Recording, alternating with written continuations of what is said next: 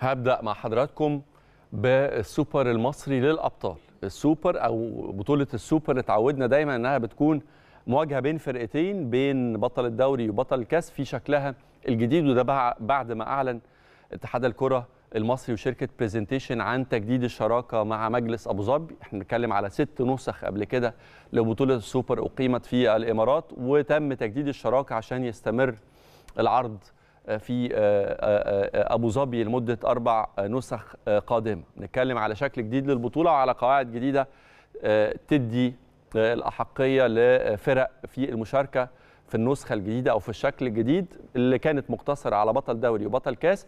هتصبح النسخة الجديدة أو الشكل الجديد لبطولة سوبر المصري الأبطال بمشاركة أربع فرق. وطبعا الحقيقة يمكن يعني أعتقد إنه خلينا متفقين إنه الصورة اللي ظهر عليها السوبر المصري في السنوات الأخيرة كانت صورة مبهجة وكانت مباراة احتفالية بصرف النظر عن مين ممكن يكونوا أطرافها لكن على المستوى التنظيمي على المستوى البث التلفزيوني على مستوى الحضور الجماهيري الحقيقة بيبقى كرنفال. افتقدناه لسنين طويلة جدا وأعتقد إنه الإمارات قدمت الحقيقة نسخة أو نسخ رائعة من البطولة. نتمنى إن شاء الله طبعا وكلنا ثقة في أشقائنا الإماراتيين الحقيقة لما بيستضيفوا أي حدث رياضي ومجلس أبو ظبي رياضي الحقيقة بيكون على قدر عالي جدا من الحرفيه والحقيقة بيقدم ال ال القصة كلها من بدايتها لآخرها لنهايتها بشكل أكتر من رائع.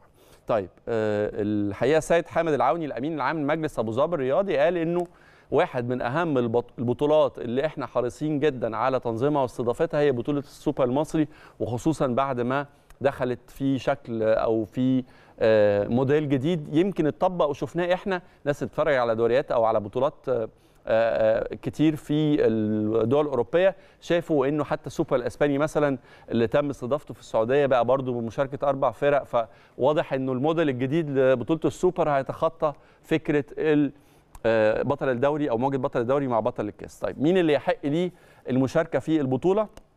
زي ما بتقول أو زي ما زي ما تم تحديد نظام البطولة دي واحد بطل الدوري المصري اثنين بطل الكاس ثلاثة بطل كاس الرابطة المصرية ومعاهم وصيف الدوري.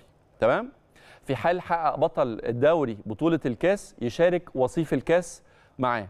وفي حال حقق بطل الكاس بطولة كاس أو لقب كاس الرابطة يشارك معاه أيضا وصيف الكاس. في حاله تكرار نفس الفرق في البطولة اللي بالطريقة اللي تم ذكرها يشارك ثالث الدوري. على المعايير دي حساباتي كانت كالآتي بما إنه إحنا بنتكلم عن النسخة اللي جاية من البطولة فبالتالي ملناش علاقة بكأس مصر اللي الأهلي فاز فيه على الداخلية امبارح وهيقابل المصري فيه يوم الخميس اللي جاي. البطولة دي هتستمر للموسم اللي جاي وبالتالي بطل آخر نسخة لكأس مصر هو النادي الأهلي. طيب بطل الدوري الحالي هو النادي الأهلي. وصيف الدوري وصيف الكأس هو نادي بيراميدز. بطل كأس الرابطة هو سيراميكا كليوباترا. طيب دول الثلاث بطولات اللي اتلعبوا أو اللي خلصوا الموسم ده. يبقى الأهلي طبيعي جدا هيشارك بصفته بطل الدوري. وطبيعي جدا يكون معاه بيراميدز وصيف كاس أو وصيف دوري. وسيراميكا ليه طبعا حقيه التأهل بشكل مباشر يبقى كبطل لكأس الرابطة يبقى ده ثالث الفرق اللي هتشارك في البطولة. الرابع فرق اللي مفترض إنها تشارك في البطولة على حسب النظام اللي قلته لحضراتكم دلوقتي هو فيوتشر. أعتقد كده يعني. فيوتشر هو المفترض إنه يشارك في النسخة اللي جاية من بطولة كأس السوبر للأبطال. على كل الأحوال هنشوف طبعا ونتابع مع حضراتكم. بتدخل حسابات كتيرة جدا حسابات جماهيرية. طبعا أي قائم على تنظيم بطولة يهمه جدا نجاحها على المستوى الجماهيري. ده معناه أكتر عقود رعاية أكبر معناه أكتر حقوق بث تلفزيوني أكبر. يعني قصة طبعا قصة حسابات وقصة business في الأول والآخر لكن نتمنى إن شاء الله البطولة في شكلها الجديد يكون على الرغم إن إحنا مش مش مش في حاجة خالص عدد مباريات زيادة كده مفترض بدل ما هتلعب المباراة دي أو اللقب ده أو البطولة دي من مباراة واحدة هتلعب فيها على الأقل ثلاث آه مباريات. لكن في جميع الأحوال نتمنى التوفيق طبعا لأشقائنا في الإمارات على اللي هيقوم على تنظيم الشكل الجديد للبطوله لمدة أربع مواسم قادمة. من النهارده الأهلي بيبدأ رحلة استعداده لمواجهة المصري إن شاء الله اللي هيكون تحت قيادة فنية جديدة تتولى المسؤولية هي طبعا القياده الفنية لكابتن علي ماهر.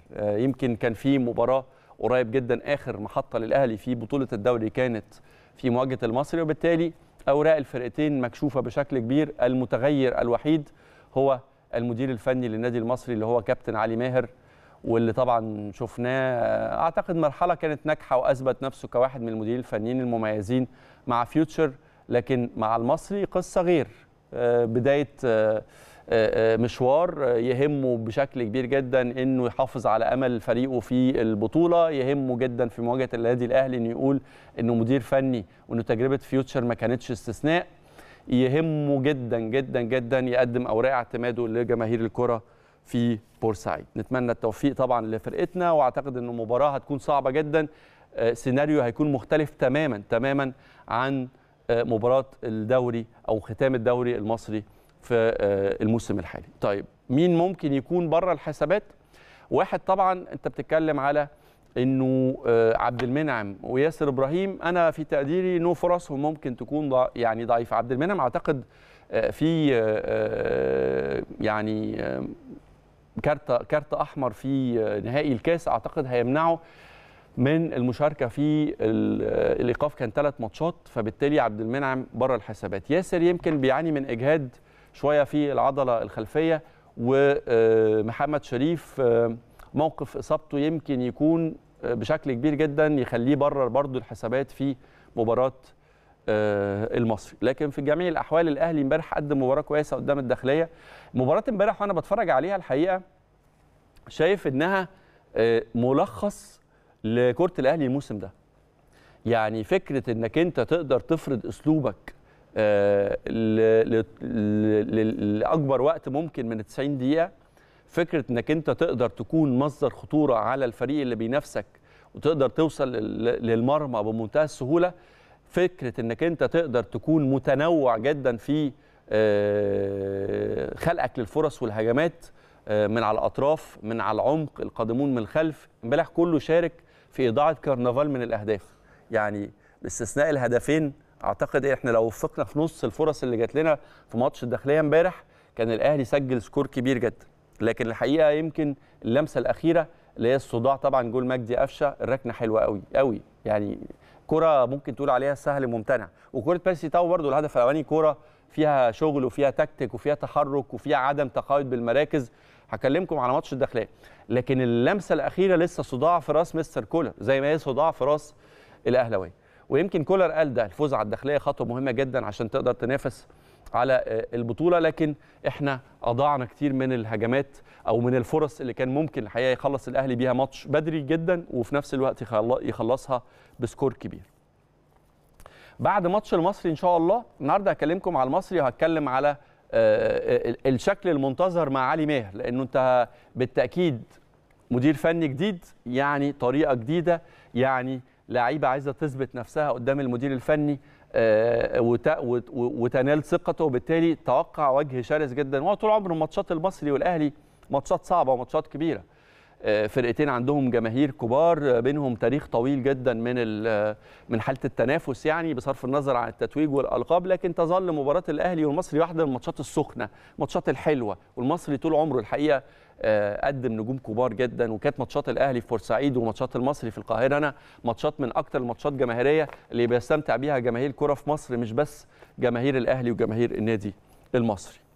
بعد ماتش المصري إن شاء الله كولر قرر يكون في راحة للفريق لمدة ثلاث أسابيع. بريك قبل ما نرجع نستعد إن شاء الله لموسم جديد ونخوض فترة إعداد جديدة ويخش فيها طبعا صفقات الأهلي الجديدة. هنتكلم